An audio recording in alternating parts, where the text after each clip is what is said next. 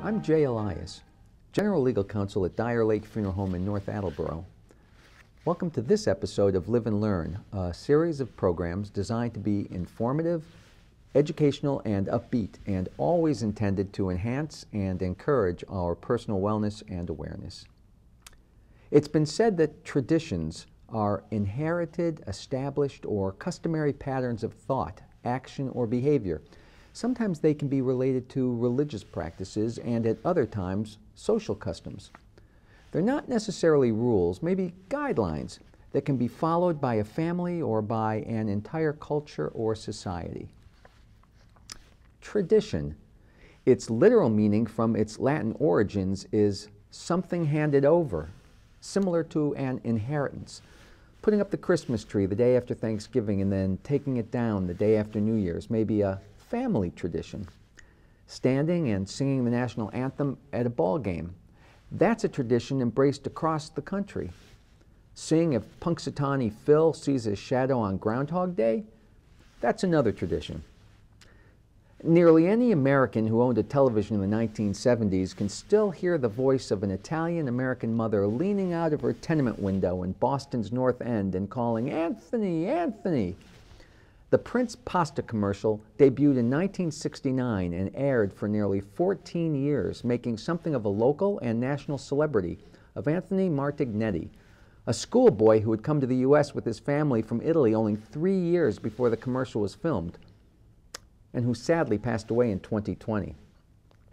To residents of Boston's Little Italy and to Anthony's family, the commercial was a source of enduring pride, and for the Prince Pasta Company, it was a shrewd centerpiece of its campaign to persuade consumers to create a new tradition, that is, to make Wednesdays Prince Spaghetti Day. And it worked.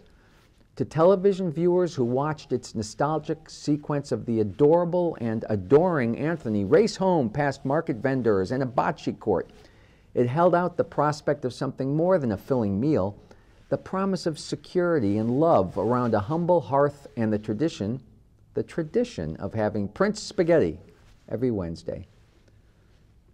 For many, New Year's Day is like a freshly washed chalkboard. It's a clean slate signifying a new start, and it's associated with a host of traditions.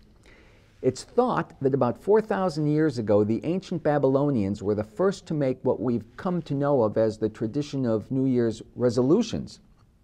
They were also thought to be the first to hold recorded celebrations in honor of the new year. Although for them, the year began not on January 1, but in mid March when they planted their crops. During a religious festival known as Akitu, it lasted several days. They crowned a new king or reaffirmed their loyalty to the reigning one. And they made resolutions of sorts, promises to the gods to pay their debts and return any objects they'd borrowed during the preceding year. If they kept their word and abided by their promises, the gods would bestow favor on them for the coming year. And if not, they'd fall out of favor with the gods. And that may just have been how the tradition of making New Year's resolutions began. Most modern day resolutions reflect a society that, for most, doesn't have the same needs as the ancient Babylonians. But then again, a promise to repay a debt or return a borrowed item or to strive for better things in the coming year they all seem somewhat timeless and universal. Many will make New Year's resolutions. However, the majority will also fail to achieve them. But making resolutions is still thought of as a good idea with plenty of positive effects. Data suggests that about a quarter of us will make some kind of a resolution, and about 20% of that quarter of us think that we'll accomplish them. If you think about it, that's something of a disheartening statistic. Of those who take the time to make a resolution, only 20% actually expect to live up to their commitment. And it seems that less than 10% will in fact be successful. And no surprise, the most popular New Year's resolutions are about self improvement, living healthier, getting happy, losing weight, exercising, stopping smoking, reducing drinking. And here's an interesting and probably not a surprising bit of information. For years, during the month of January, gym and fitness club memberships and attendance increased significantly from the months beforehand.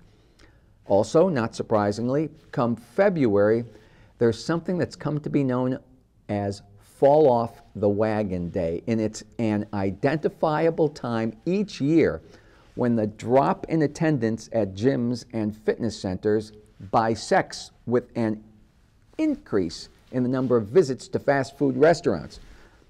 So, unless people have resolved to eat more fast food in February, fall off the wagon day reflects a point in time when more people have abandoned their resolve to be healthier and decided instead that it's time to have a Big Mac or Whopper. And even if you don't keep your resolutions, it's said to be helpful to make them anyways.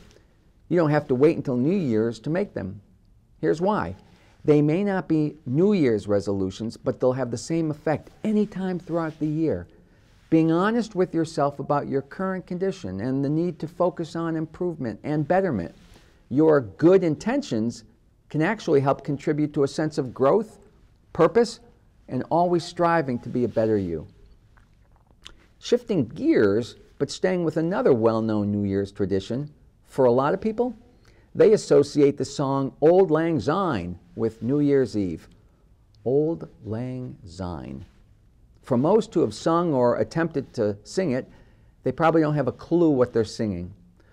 We know the tune and maybe some of the words that have to do with old acquaintance, but really, most of us don't know what it means when we're singing the words Auld Lang Syne. And that brings me to a quick digression. There's a recognized expression for when you sing the wrong lyrics to a song, even though you think you're singing the correct ones. Whether it's the fact that you misheard the words or misunderstood them, there you are singing the words wrong to your heart's content. And that's called a mondegreen. Think of a child singing the nursery rhyme, Row, row, row your boat. Instead of saying the line, Life is but a dream, they sing, Row, row, row your boat, life's a butter dream. Billy Joel wrote a well known song called Just the Way You Are, and there's a verse that says, I said I love you, that's forever, and this I promise from the heart. I couldn't love you any better. I love you just the way you are.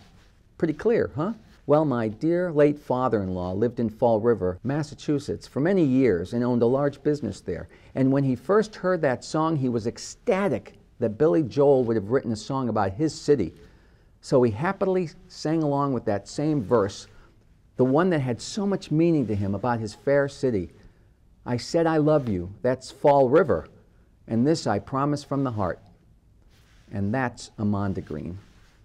Back to Auld Lang Syne, when the clock strikes midnight and the calendar flips to a new year and millions start singing, well, the lyrics were from a poem written in 1788 by Robert Burns, a Scottish poet.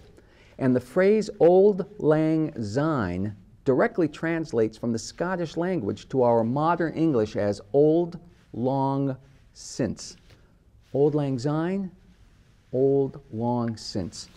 It's often interpreted in practice as old times, especially times fondly remembered, or even old or long friendship, and evokes feelings of nostalgia and memories of good times spent with friends. The first lines of the song, Should Old Acquaintance Be Forgot and Never Brought to Mind, is intended to serve as a reminder to cherish those memories, making it a fitting message for New Year's Eve night and a New Year's tradition. Should old acquaintance be forgot and never brought to mind? Should old acquaintance be forgot and Auld Lang Syne? For Auld Lang Syne, my dear, for Auld Lang Syne, we'll take a cup of kindness yet for Auld Lang Syne, for old time's sake. By the way, the song's rise to fame in the U.S. was thanks in large part to Guy Lombardo, whose orchestra, called the Royal Canadians, were an American staple, starting with the first nationwide New Year's Eve broadcast on the radio in 1929, coming to television in 1956. He popularized the tune as the first song to play after the stroke of midnight, and he and his orchestra played it every New Year's Eve until 1977 when he passed away. And that's the tradition of singing Auld Lang Syne. Cards, flowers, lots of candy, maybe stuffed animals and balloons, maybe a nice dinner, maybe even a piece of jewelry. Valentine's Day, February 14. Across the U.S. and many other places around the world, cards, candy, flowers, and gifts are exchanged between loved ones, all in the name of Saint Valentine. But just who was Saint Valentine and where did the tradition and these other traditions come from? Although the origins of Valentine's Day are far from certain, one thing is its likely origins aren't quite as rosy or romantic as we'd like to think. The starting point seems to be the Catholic Church, which has, over the centuries, recognized at least several saints named Valentine. A well known legend has it that Valentine was a priest serving during the third century in Rome. It's been said that when the Roman Emperor Claudius II recognized that single men made better soldiers than those with wives and families, he issued a decree outlawing marriage for young men.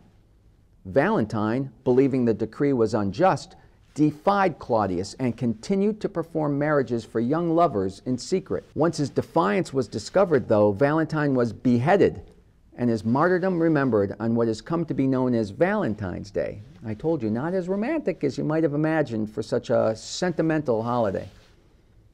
As for exchanging Valentine cards, well, Valentine greetings were popular as far back as the Middle Ages, though written ones didn't begin to appear until around the year 1400.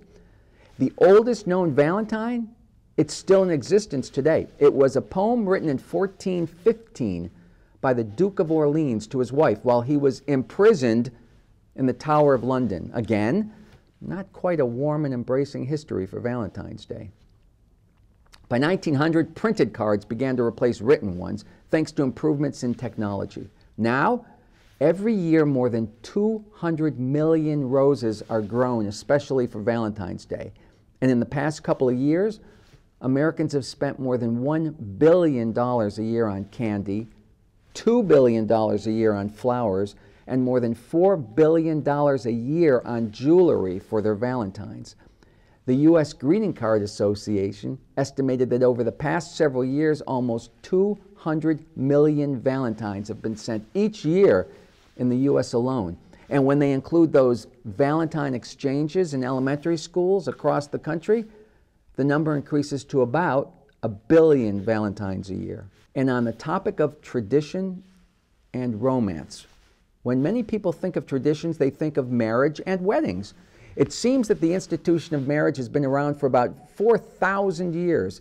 Early on, one of the primary purposes of a marriage was to serve as an alliance between families for either economic or political reasons, or both, and to guarantee the lineage of a man's children. Marriage, it seems, had little to do with love or with religion. More often than not, marriages were arranged by a couple's parents. The young couple had little, if any, say in the matter. Through marriage, a woman became a man's property. Ouch. And even today, in some cultures and religions, marriages are arranged on much the same basis. And romantic love? Well, that concept didn't even enter the picture as a motivating force until well into the Middle Ages. So, here are a few of the more interesting origins of some of the well known wedding traditions, starting, let's say, with the wedding veil worn by many brides. It's been said that the tradition of a bride wearing a veil dates back to ancient times when brides were wrapped from head to toe, possibly to represent the delivery of a modest and untouched maiden, and possibly to hide her from evil spirits who might want to thwart her happiness. It's also been said that the tradition finds its roots in arranged marriages, when a groom's family would not permit him to see his bride until after the couple had officially wed just in case he didn't like her looks, and there was a chance, no matter how slim, that he might change his mind and refuse to marry her. So the veil, it seems, was worn not just to ward off evil spirits, but to conceal the bride's appearance right up until the last possible moment. As for those bridesmaids, all wearing similar, never to be worn again dresses, it seems that long ago they would actually wear the very same dress as the bride, identical. Once again, in order to confuse those apparently not too bright evil spirits and prevent them from finding the bride and cursing her on her wedding day. Because weddings really were a part of a business transaction and not a union of love, the groom also needed to find himself a good swordsman to help deal with the transaction. whether it was dealing with the bride's displeased family or possibly finding a runaway bride who might choose not to consent to the union. Something old, something new, something borrowed, and something blue. Where did that tradition come from? Well, the old signifies the old ties to the bride's family and her past. The new, that reflects the new life ahead of them. Something borrowed, that's to have an item from someone who's in a successful marriage pass on their good fortune. And something blue is to signify loyalty, purity, and faithfulness. Like so many of our traditions today, wedding and engagement rings can also be traced to ancient Rome. Roman women often wore rings of ivory, flint, bone, copper, and iron to signify a business contract or to affirm her obedience. Gold rings were later found in the ruins of Pompeii, proving the shiny metal became the material of choice in the common era. The weddings rings that were worn by women were often iron when at home and gold when in public. But what about that tradition of spending a couple of months' salary and proposing with a sparkling diamond engagement ring? Interestingly, that tradition arose not from any ancient religious or cultural foundation, and unlike other wedding traditions, it doesn't date to the days of the ancient Romans or Greeks. It's actually a function of some very creative advertising. It seems that in the late 19th century, a conglomerate of diamond mining companies in South Africa conjured up what's come to be known as the diamond invention. It's a wholly creative and invented idea that diamonds are far more rare and far more valuable than they really were and that they were somehow symbols of lofty esteem. The British businessmen operating those South African diamond mines recognized that only by creating the fiction that diamonds were unusually rare and scarce and therefore inherently valuable could they protect their investment and artificially keep afloat diamond prices. So, fast forward to 1938, amid the ravages of the Great Depression and the rumblings of war, a fellow by the name of Harry Oppenheimer, a son of the De Beers Diamond Company founder, recruited a New York based advertising agency to improve the image of diamonds in the United States. It seems that up until that point in time, the practice of giving diamond engagement rings had been inconsistent. That is, engagement rings were made of a variety of gems and precious metals. And when diamonds were given, they were generally small in size and low in quality. And so, as the price of diamonds was falling around the world, this advertising agency devised a campaign intended to persuade young men that diamonds, and only diamonds, were synonymous with true romance. The ad campaign conveyed the message that the real measure of a man's love and an accurate reflection of his personal and professional success were tied to the size and quality of the diamond he purchased. And young women, they were soon convinced that a successful courtship concluded with a nice diamond on her finger. So, with the help of Hollywood stars and the slogan, A Diamond is Forever, diamond engagement rings skyrocketed in popularity. Movie stars and idols, the paragons of romance for the mass audience, they were given diamonds to use as symbols of indestructible love. They were photographed with diamond engagement rings prominently featured. And the truth is that while diamonds are one of the hardest known substances on earth, they're not forever. They're not indestructible. They can be shattered, chipped, discolored, or incinerated to ash. But the concept that a diamond is forever perfectly captures the magical qualities that the advertising agency wanted, not necessarily the reality. A diamond that lasts forever promises endless romance and companionship and is one that's not likely to be resold because of that romantic element. And it seems that resold diamonds cause fluctuations in diamond prices, which in turn undermine public confidence in that intrinsic value of diamonds. And that's not something that the diamond mining companies wanted. So the diamonds that are stowed away in a safe deposit box or given to grandchildren and passed on from generation to generation, they won't cause any fluctuation in diamond prices. And on the subject of spending by Americans on something millions of people enjoy, here are some interesting statistics about another American tradition Halloween, starting point. In 2021, consumer spending on Halloween related items reached an all time high of more than $10 billion, with about $3 billion of that on candy alone. On average, consumers spend about $100 on costumes, candy, decorations, greeting cards. The top ways Americans have traditionally celebrated Halloween include handing out candy, the tradition of trick or treating, decorating our homes or yards, the tradition of dressing in costumes, and carving a pumpkin. The origins of trick or treating remain a bit murky, but it's thought it can be traced to early Celtic festivals, Roman Catholic holidays, and even medieval practices. The early Celts, who lived a couple of thousand years ago in the area that's now Ireland and the United Kingdom and northern France, believed that the dead returned to earth on the day known as Samhain. On that sacred night, people gathered to light bonfires, offer sacrifices, and pay homage to the dead. During some Celtic celebrations of Samhain, villagers disguised themselves in costumes made of animal skins to drive away phantom visitors. Banquet tables were prepared and food was left out to placate unwelcome spirits. And in later centuries, people began dressing as ghosts, demons, and other malevolent creatures, performing antics in exchange for food and drink.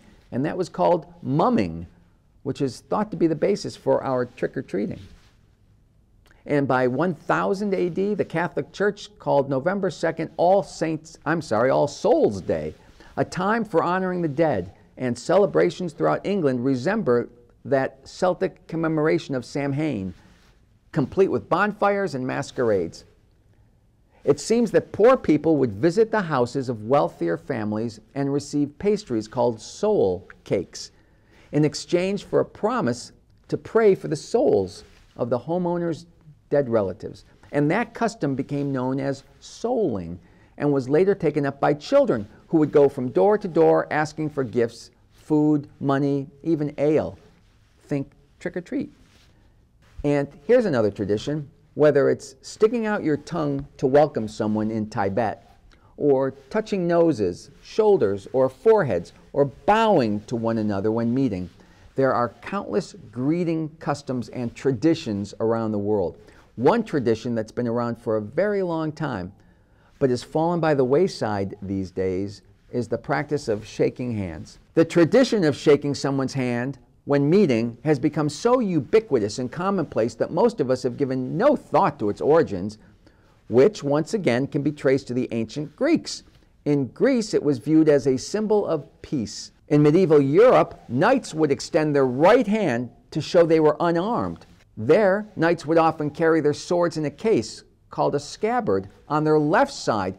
This meant that they could draw their sword with their right hand if it was needed. Shaking hands, which is traditionally done with one's right hand, became a friendly greeting because it was proof that someone came in peace and was not holding a weapon. It was also a sign of trust that you believed the other person wasn't going to take their sword out to fight you either. Here's an interesting one. Most of us are familiar with the tradition of throwing salt over your shoulder if you spilled it. Is that a tradition or a superstition? References to salt and its significance in culture dates back thousands of years. The first written reference to salt is found in the book of Job, recorded about 2250 BC, and there are many references to salt throughout the Bible. Possibly the most familiar one being the story of Lot's wife, who was turned into a pillar of salt when she disobeyed the angels and looked back at the wicked city of Sodom. From ancient times to the present, the importance of salt to humans and animals has been recognized. Thousands of years ago, animals created paths to salt licks and men followed them seeking game and salt, and those trails became roads. And besides the road, grew settlements, then cities. And the expression, he's not worth his salt, is a common expression that originated in ancient Greece, where salt was traded for slaves.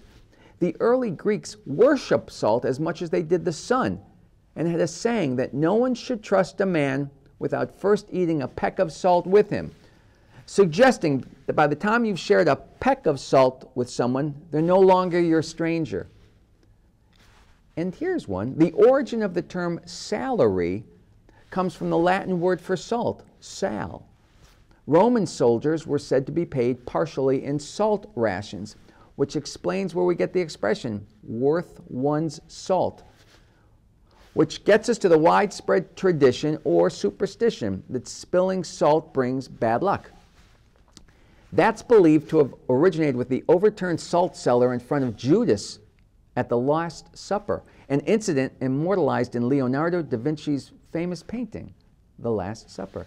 And there are a host of traditions associated with spilled salt. According to an old Norwegian superstition, a person will shed as many tears as will be necessary to dissolve the salt they spilled.